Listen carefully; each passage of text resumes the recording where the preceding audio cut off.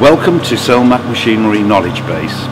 Today we're going to teach you how to realign the back gauge bar, reset the datum on the probes and then reset the datum to the computer.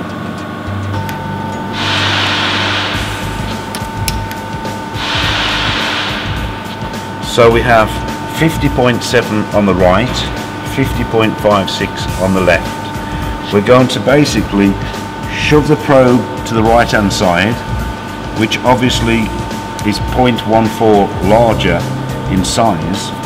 We're going to under two bolts underneath the back gauge bar.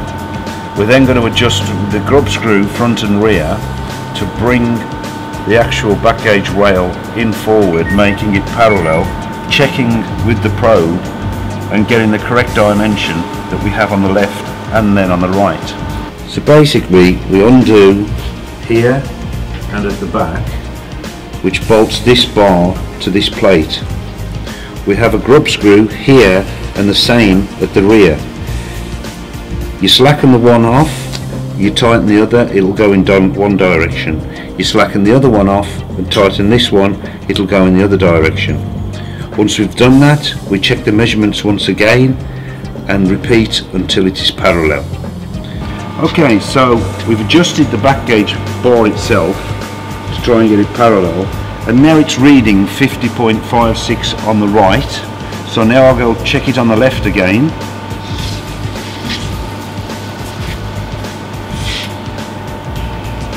And yes I have 50.56 on both sizes now which means the back gauge bar is now parallel. Right basically this probe is the uh, probe that we're going to date on this one too. So we've got 50.56 here, we need 50.56 here. So basically we undo this, we undo this, we then undo this and basically release off the grub screws. You then adjust this knob here taking a measurement at the same time from the front of the probes. And then you adjust this until you get 50.56 or whatever the figure is that you have. At that point you lock this up and you lock this up. Like so. You then push the grub screws back forward lightly until they stop and then basically lightly nip this one here.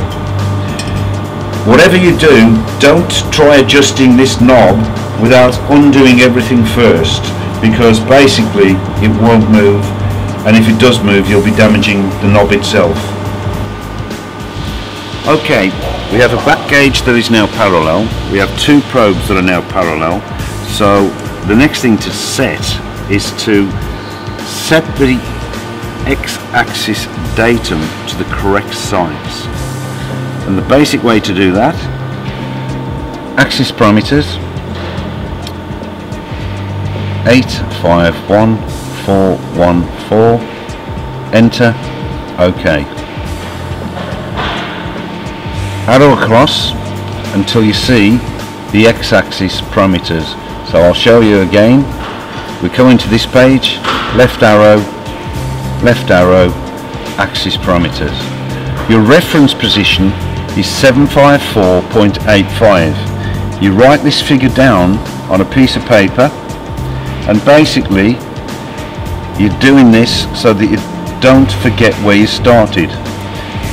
If your back gauge is out by 0.1 then basically increase it by 0.1 or decrease it by 0.1 and then come out of the parameters to editor. Basically then pick a figure let's say 50 mil semi-automatic run. Okay now we've adjusted the parameter we need to check it but we need to re-reference press the manual as normal and press start. You'll see the back gauge R and X are now redatuming. Once they've redatumed, we can bring it in to 50 mil and check the distance. I'll show you how. Okay, so now we've set the reference point again. It may take several times, but let's check it and if it needs adjusting again, we will. But how to check it? The tool is 60 mil wide and the distance we programmed was 50 mil from there to the probe. But we need to measure from here rather than here. It's more difficult to measure from here. So it's 50 mil plus 30 mil equals 80 mil and as you can see it's now 80 mil.